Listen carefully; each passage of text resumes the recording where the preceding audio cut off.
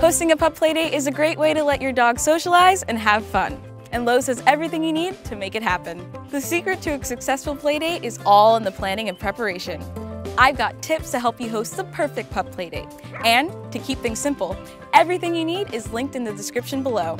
Let's get this playdate started. Do a thorough check of your yard to remove anything that might be harmful or dangerous to your furry friends. There's nothing like stepping in a landmine to ruin the playdate mood. Also, be sure to keep your scoop and cleanup baggies easily available for your guests to use. The yard is clear, so now it's time to give your lawn a fresh cut. The healthiest grass has long blades and deep roots.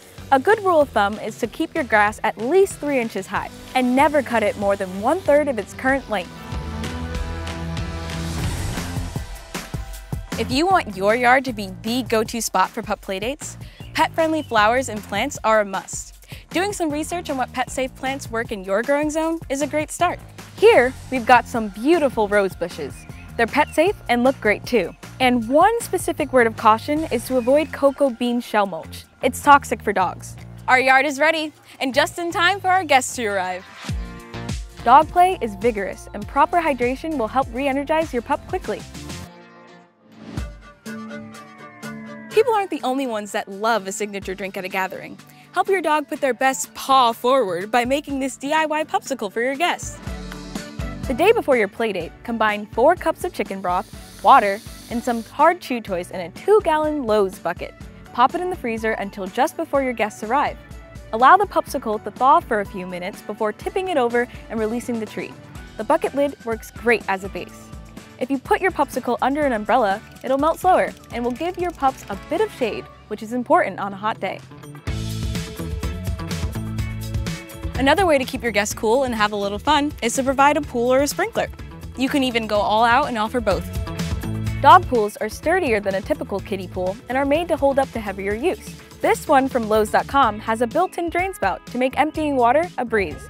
And when you're done, it actually folds down for easy storage. If you're looking to not just cool off your guests, but also have some fun, choose a sprinkler with a variety of settings and water directions. It's like a water park attraction right at home. Many dogs, digging is a naturally rewarding activity. But rather than have holes all over your yard or discouraging digging, create a doggy dig area. It's as simple as filling a kiddie pool with play sand. To encourage your dogs to dig, bury some toys just below the surface of the sand. You can put a small tarp underneath the pool to catch any spillover and make cleanup quick and easy. Your Playdate pups will dig it important thing to keep in mind is that not all your guests will be willing to share. It's best playdate practice to keep plenty of toys available. Consider all different types. Balls, frisbees, chew toys, and tug toys. But the real secret is making sure you have more toys than dogs so that everybody gets along. Having a well-planned get-together can be the best experiences for fur babies and their owners.